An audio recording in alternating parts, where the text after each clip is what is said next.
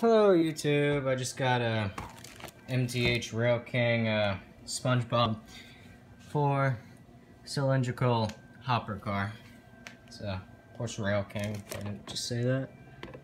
You a little view of the box. Um, you know, it's just general packaging, cardboard, and a warranty. And I already put it on the track, I got the train ready to go. As you can tell, that's what it looks like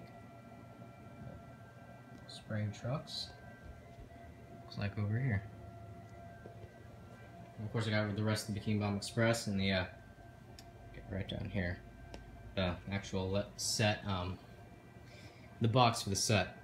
Now, one thing I was gonna say real quick, popped in my mind, that's why I want to do a sort of long review on it, was that, um, thinking about it now, MTH and Lionel, because as you can see on this layout, I know it's a mess. I got two engines the same track and all the cars everywhere, but I feel that MTH does try to become more realistic with their engines. They do have a few good fantasy ones, but they don't have really the eye-catching ones. And I feel like Lionel's, maybe just because they got the rights to them first, it leans more towards the idea of being fantasy. And when I mean fantasy, I mean something that catches your eye. It's that is the one we all know, like um, Lionel, Polar Express, Hogwarts Express, Thomas, all the Thomas trains, the Phantom. Those are the ones that we all sort of think of the top of our head, but mostly the first three. Um, of course, in this layout, you see most of it's MTH, and it's all realistic, save for the Rio Grande locomotive, B unit, boxcar. And when I think of MTH Fantasy, two things come to mind real quick. It's either the SpongeBob train or the Coors Light Silver Bullet. Um, I do know that MTH does make several other fantasy trains. Uh, Rudolph the Red-Nosed Reindeer is another that comes to mind for Christmas, and a lot of them are Christmas-based, and every now and then they come out with a nice little Halloween one. Or Transylvania Express, that's another one for Lionel. But as you can see, I, I can think of a lot of Lionel fantasies, and I feel it's what they lean more towards, even with Lion Chief, because Lion Chief I think is a big one because it's appeal to younger kids. And I think that really shows, but then it's like you take MTH's proto sound, and proto sound's more realistic. And yes, they do use it on some of their fantasy Christmas trains, but it just felt like it was something that was leaned towards more, you know, wasn't real fantasy because, how do I put this another way? It's like the Polar Express line now. The Polar Express is, of course, the Berkshire and the passenger cars from the movie. Simple as that. However, Lionel pretty much figured out we can release a streamline set, a freight set, all these different add-on cars that make the train look more like a realistic passenger train that wasn't even in the movies. Um, and they can release, there's like water towers and stuff. There's everything for the Polar Express. And most of it wasn't even the movie. It pretty much, if you put Polar Express on it, it'll sell. And that's why I wonder why MTH never really pushed the Bikini Bottom Express so much because it's SpongeBob. And it's like, Polar Express, you know SpongeBob. A lot of people do, and if and it's almost the same situation because I think there was one episode of SpongeBob where there was a train like really directly involved, but this isn't that train. It's one of those things where you can just stick SpongeBob on whatever and it'll sell because it's SpongeBob, like the Polar Express. Or you could even do, uh, Lionel could even do the same thing with uh, Thomas and Friends or uh, Hogwarts Express. It's one you could stick almost that logo on a lot of things, if not almost anything, and it'll sell just because it's that.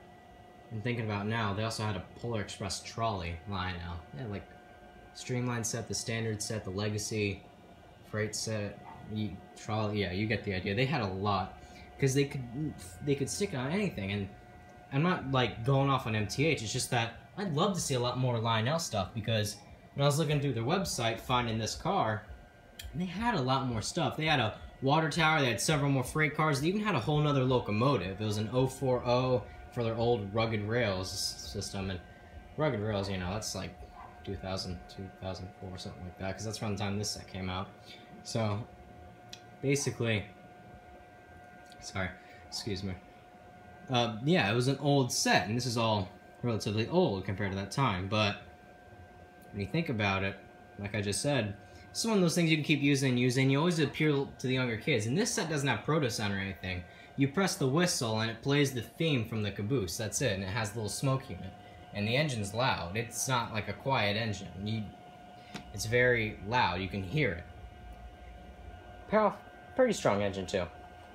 Uh, yeah, you get the idea of what I'm trying to say. It's a simple set, but at the same time, you know, just you can stick SpongeBob on whatever and it'll sell. So I was just wondering if MTH would ever try pushing this idea more if they still have the rights to it, and you know, hopefully see more SpongeBob sets in the future. Because I know I love I love having SpongeBob layout. Yeah, it's great having the realistic trains like the Streamline Rio Grande or the Blue Comet, but then you have a little SpongeBob freight set or Polar Express next to it, and then it's just perfect because it looks fake, and that's the best part about having a Christmas set too.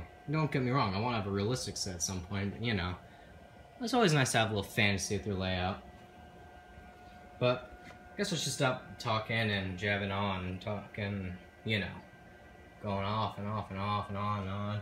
I'll let you see the engine run with the new hopper car, and that'll be it. So, reverse. Forward. No, neutral. Oh, when it gets up and going. Like I said, a simple set and a simple oval. Uh, the layout's messy right now, I'm still working on it. But yeah. And it's nice and it works.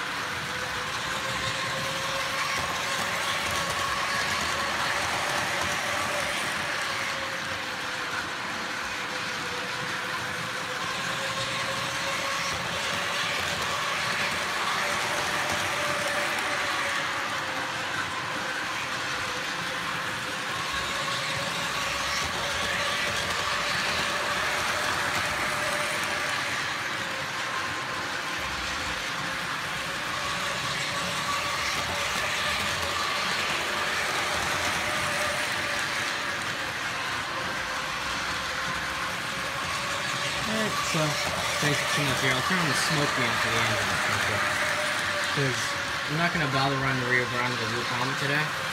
But, and I say I'm not going to bother running them today because um, the Bikini Bottom Express is honestly actually going to be on a layout of its own soon. And you're probably wondering what I mean by that, and what I mean is that the Bikini Bottom Express is going to be on a layout of its own. You'll probably see more of it, hopefully, but it won't be in this room. It'll be somewhere else. Not saying where, just saying it'll have its own little thing going. Hopefully get it, I'm planning on putting this one up and around the tree is what I mean. And, I don't know, maybe try making it nautical. See if I can find some SpongeBob toys and I'll add them. SpongeBob toys like that. Yeah, that's perfect. I should have had that in the video.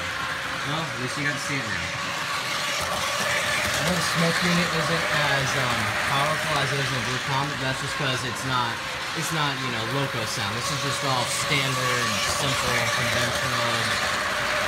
Now, I can see the smoke pretty fine. I don't know if you guys can. Let's see.